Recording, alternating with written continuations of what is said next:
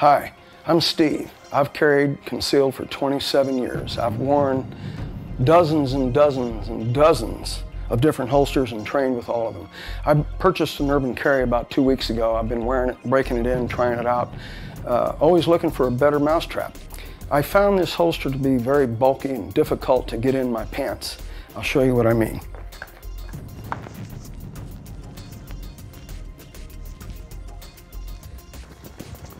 See what I mean? It's very bulky. Push it down, and this flap is supposed to cover the clip. The clip still shows out the bottom. The main problem with this holster is the gun is too high, so when I go to sit, it jams me in the abdomen and pokes me in the leg. It needs to be about two inches lower. The draw is kind of a telegraphing movement. It's a long pull. You pull here, the gun comes up, and you're able to get it out. Uh, it's a little bulky, a little slow, but you can learn to do it. Now,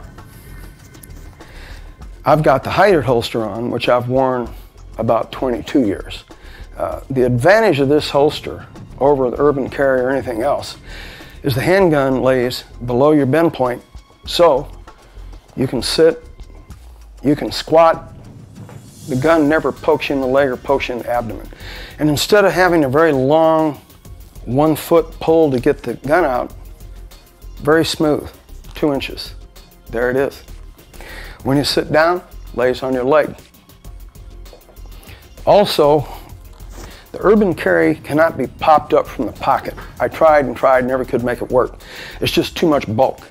With this holster with your hand in your pocket, the hide it allows you just to pop it up two inches. There's your handgun. You can also draw this seated. The Urban Carry I could never get it out seated. It's too long. It won't go around the corner. You can't get it up. So if you're in a restaurant or a movie and you need to draw your handgun, you're going to have to stand up to draw it. Um, that's not what you want to do. The Hide It has five accessories. You can put a plain clip on it. You can put a phone case on it, and bring your cell phone. You can put a key fob on it. Or in this case, you can put the leather grip on it. This is a black one. We also make a brown one. These look like something that actually should be on your waist. No one's going to suspect a key fob or a phone, and they won't see the clips. So this holster makes it look like it's supposed to be there, or it makes it look like there's nothing there at all. To hide it, the urban carry.